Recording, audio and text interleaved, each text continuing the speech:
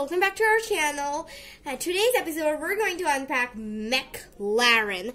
So, and also in this video, we're going to give some similarities according to the uh, Hot Wheels, some other Hot Wheels we have here. We have Tour de Fast, Bone Shaker, Chrysler, Rally Cat, and Honda Civic Type R. So, let's start. Let's start with the unpacking part. So, it's done. It's really so shiny. It's so cool. It looks so glassy and cool from the backside too. So, let's start with the similarities. So, I see from the glass top, I say it's familiar with Tour de Fast. You see the female, there's the glass roof and glass roof. And it has some small windows and small windows. But I think Tour de Fast is longer than McLaren. So let's go to the next one. Ta-da! So, um, next thing is I want to make similarities with Honda Civic type R.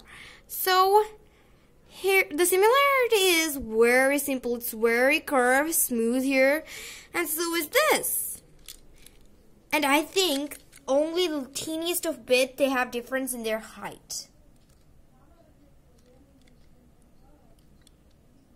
They look exactly a little same sized. And also, you can check out the bag. It's a little high here. And I think that too matches with McLaren. Let's go on to the next. So the next one is Chrysler. So I think this, I think you can see this W shape here. This W is very familiar with McLaren. So, let's go to the next one. So the next one is Rally Cat. And the last one.